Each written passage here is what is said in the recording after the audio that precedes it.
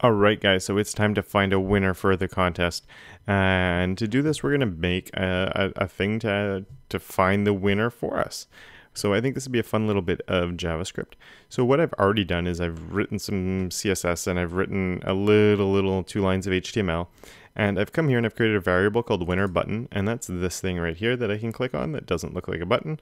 So that is selected. And then I have a variable here of winner name, which is this right here which right now just has three little dots in it that is awaiting the winner. I've also made an array here of all the people who have entered into the contest.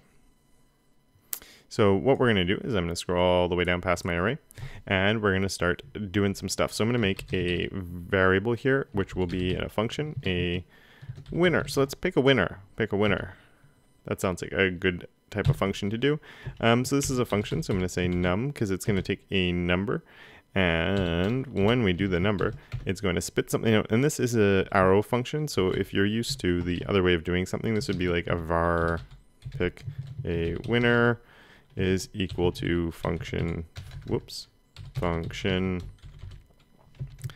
uh, with the num in there pretty much with arrow functions and the whole ES6 thing, we don't have to actually write the word function anymore. Saves a few little keystrokes along the way. So my pick a winner is taking a number and it's going to, um, what do we need? We need, we need to generate a random number. So the first thing I'm gonna do is um, const winning number. So we're to have a winning number, and it's to be a random number. So uh, we can make a random number with JavaScript really easily just by doing math.random. And to see what this is actually doing, let's have this console log the winning number as we work along with this. If I do a, um, let's just run pick a winner. Let's just have that fire off, and we should see a random number show up there. There we go. And if I just change my code here, it will run again. And there we go. And we'll do it one more time. And you can see it's always a decimal. So that's not a good thing. Now we can easily enough multiply this. So say I did times 10. Now we're not dealing with decimal. Well, we still have lots of decimal points, but at least we have a, a, a number there. But this is still obviously an issue because we don't want to have a decimal. We can't have, you know, in between two winners. We got to pick a number. So we can wrap this in something called math oops, math floor. And my math floor here, I'm just going to put parentheses. So my math floor is taking this number that we were just looking at, and then it's rounding it down. And so now it's picking a random number, and it's pretty much always going to get a number between 0 and 9. Um, let's actually just, yeah, we'll leave it like that for a moment and we can just see it, it's going through. It'll always be a number between 0 and 9 with the way this works. There's my 0. It can never reach 10 because it's always rounding down. But I don't want to multiply it by 10. I want to multiply it by how many people we actually have here. So this here is called contestants. Um, so here we're going to be accepting the argument of num, so we're just going to multiply it by that for the moment. Um, and now it's going to give me not a number because I have to put something in here. So now if I put a 1, it's going to always be 0. I can't have anything else because it always will pick a number. But let's put 2 here. And now it will either pick 1 or 0. There we go. There's a 1. There's a 1. Anyway, you get the idea. It's either going to be picking 1 or 0 at random every time.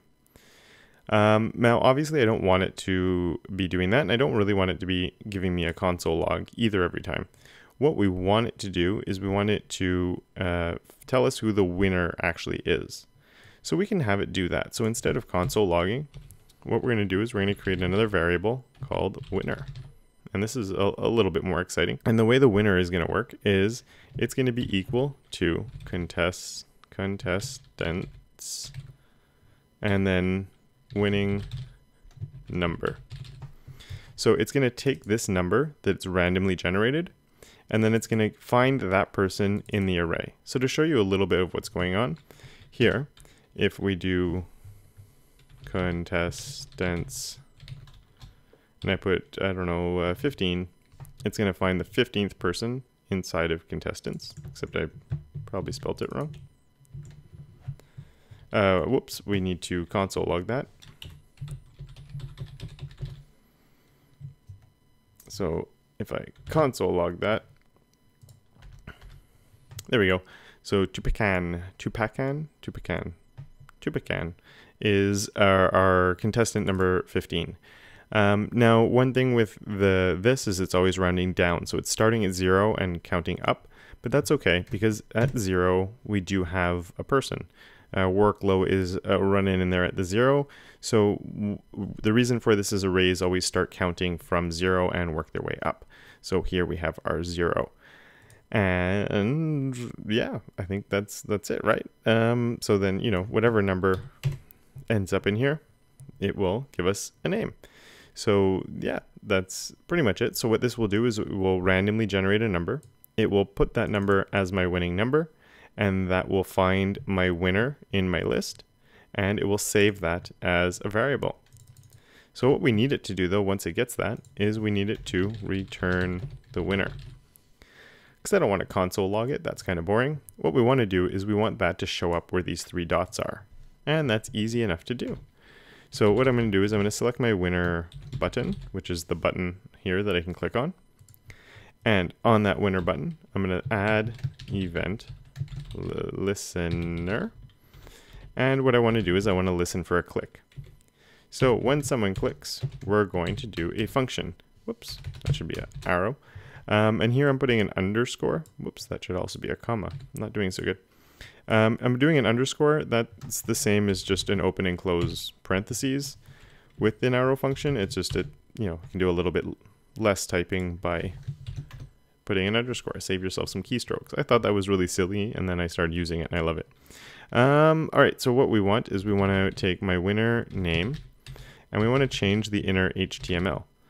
And what are we going to change it to? Let's just do hello. Um, so when I click on this, the three little dots should be changed to the words hello. So let's try that. It worked. I'm getting nervous now because we're getting really close, super close. We're pretty much there. Um, what we need to do now is instead of having it say hello, we want it to print out something from my pick a winner. But um, we're going to do one more thing here just to keep going. Uh, I'm going to make one more variable called number of entries because we need to know how many people we have are. We have, and that would be contestants dot length. So it's going to take how many contestants we have. It's going to count them all. It's going to give me a number. And we're going to use that number in here to say that pick a winner and we're going to put in our number of entries. So what's going to happen now is when I click on this, not yet, soon, when I click on that, it's going to run through all of this. It's going to take the number of entries we have. So it's going to put that number in here. It's going to run that number. It's going to randomly generate a number based on that. It's going to then use that random number to find out who the winner is. It's going to take that winner and it's going to print that winner uh, as the inner HTML and it's going to replace this with what we just did. Sound good? I almost feel like I, I, should have added like a countdown thing now or something. I'm actually kind of nervous and I'm not even the one who's up for this. This is fun. Um, so, should I do a countdown? Let's do a countdown. Five, four, three, two, one. And the winner is Slacker King. Congratulations. yeah, awesome. Um, so there you have it. So, Slacker King, if you could just get in touch with me either through a message on YouTube, you can do that on the About tab. There's a way to message me, or just leave a comment down below uh, for the best way for me to get in touch with you, and we'll uh, get all of that set up. And for the rest of you, thank you all so much for watching. If you are interested in the book anyway, go and check out the description down below, and Slacker King will be in touch so we can uh, hook everything up for that. Thank you so much for watching this. Sorry that the video was a little later than I planned on doing it. I've just been crazy busy lately, but it's better late than never, right? So uh, once again, thanks for watching. And as usual, don't forget to make your corner of the internet just a little bit more awesome.